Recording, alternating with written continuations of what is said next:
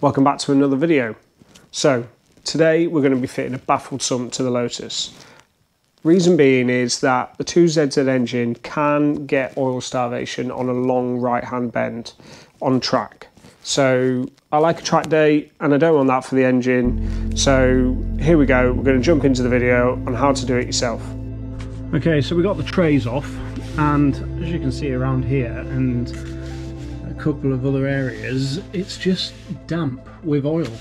And that is because it's been weeping out somewhere on the engine. Now it was all over the place. I've wiped a lot of it off. I'm going to brake clean to get the belt off and take some brake cleaner to it to really clean it up and find out where it's coming from. But yeah we've got a sweat or a leak depending on how you look at it really um, but yeah, so that's kind of what we've got going on here. So got the trays off to fit a sump, uh, a baffled sump, and we've got another issue.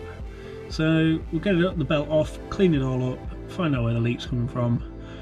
Uh, potentially might have to run it up, take it for a drive, you know, get the oil going about a bit, um, just to see if we can find where or what is the culprit. Okay, so after we found that leak, what we've done is we've cleaned all the block off with brake cleaner. Um, I'm just going to mop this bit out here because it's a bit damp still, but hey. So we're going to put the new sump on today anyway and see how that goes. Uh, it's look, it looks really good. Let's have a little look at it. I'll bring the camera out. Oh. So here is the sump with the sealant from Elise Parts. So yeah, I think it's really tidy actually. I like the tin work, I think it's very simple. Um, a lot of these other sumps you see, they're, they're beautifully TIG welded on the outside and everything. And, um, you know, have extra capacity. But for me, to be perfectly honest with you, I just feel that actually, I look at those door hinges that they use to allow the they're basically like a door hinge without any holes. I just think they just look naff, to be honest. Whereas this has got a proper deflector in there, and this stops it going out too far. It also has this these ridges on to you know guide it and keep it in. I think it you know I think it looks quite smart. So yeah, and also it's half the price. It is a proper Toyota engine sump and basically someone's spent the time to make this baffle uh, that goes in here. So we'll see how it goes.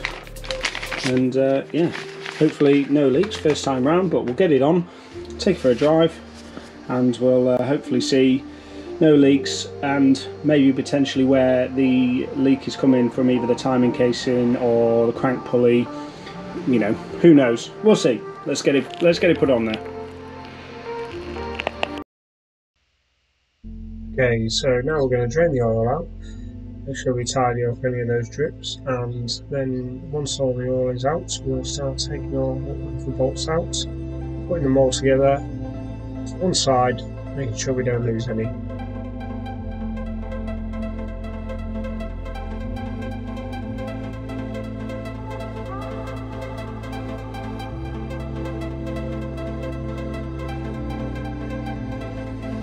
By the way, if you don't have a battery ratchet, you need to get one. It's such a time saver.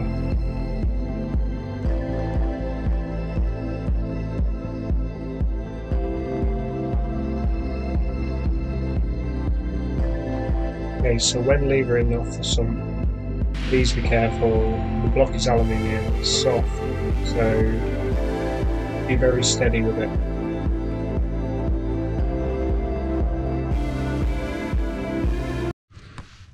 Okay, so sump is off and it came off alright in the end. There's just got a couple of little marks because getting lever bars in there, just got to make sure they're smoothed off.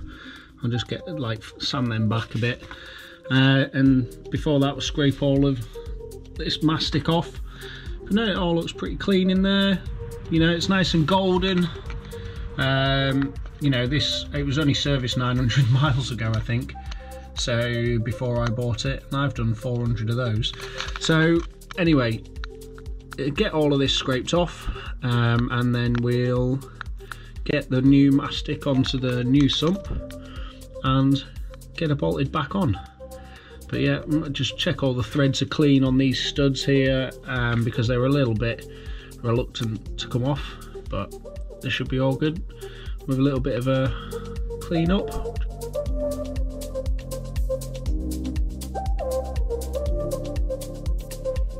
Okay, so now you can see I'm cleaning it up and I'm being ever so gentle with it, going at it bit by bit, just taking my time to make sure that every bit of sealant is taken off with a gasket scraper and I also do use a razor blade in other places.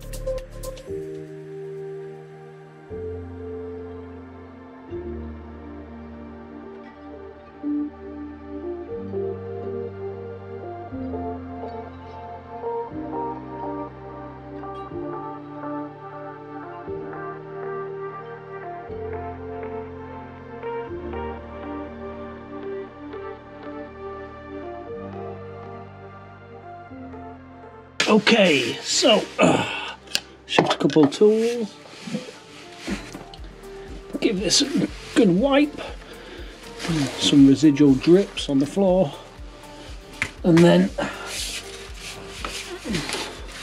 the sump is all masticed up, ready to go.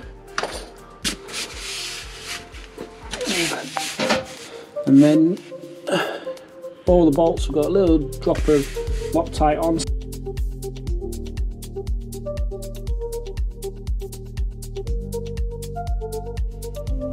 Okay, so when putting the sump back on, just make sure that you put it up nice and steady so that you don't smear any of the sealant that you put on and tighten up all your bolts evenly by hand, making sure that they're all located, then you'll go into torquing them.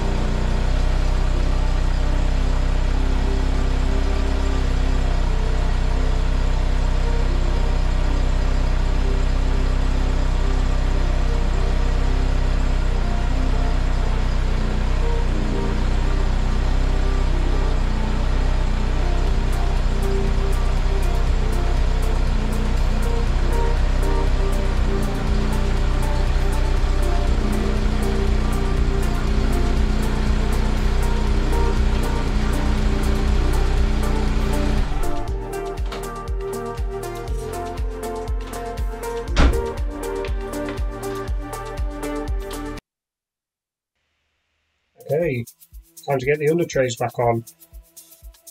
Nice and simple, have all your bolts ready to go and when the under trays back on, you're ready to roll.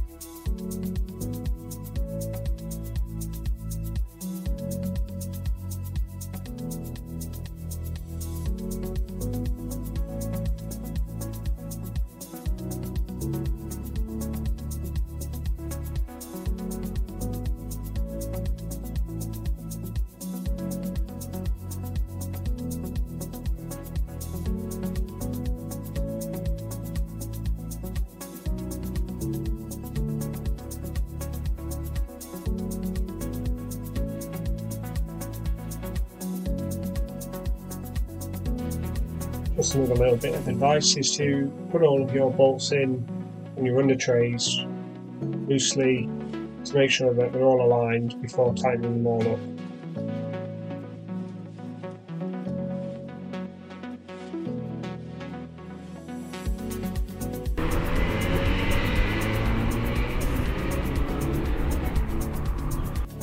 That's that. Thanks for watching another video. Please like and subscribe. See you at the next one.